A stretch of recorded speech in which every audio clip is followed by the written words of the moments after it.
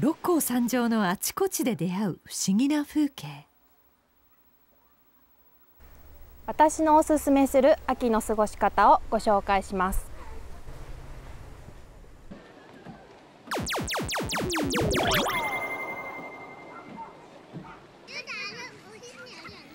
六甲山で開かれている野外アートのイベント六甲ミーツアート。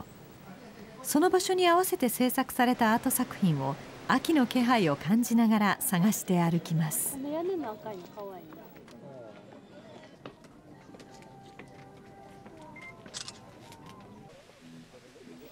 突然現れる立方体の数々。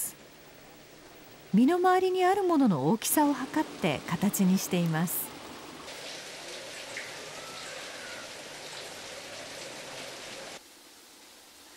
木の根元をよく見てみると小さな街灯が。周りの葉っぱが大木に見えてきませんか？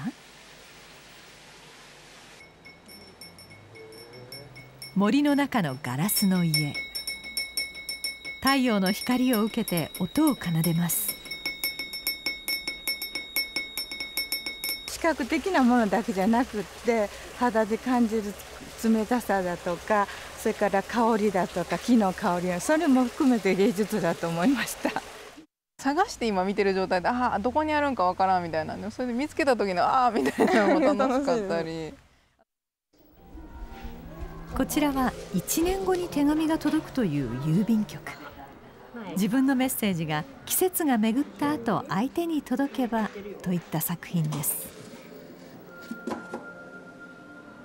私よりも子供が見たら面白いに違うか1年後だいぶ変わってると思う1年後って結構リアリティがある。リアリティがあるんですけどもちょっとこう将来というか未来が あってすごい面白い企画だなと思います。日が暮れてから見られる作品も五感を思い切り刺激する秋の六甲山へアートに触れる週末はいかがですか？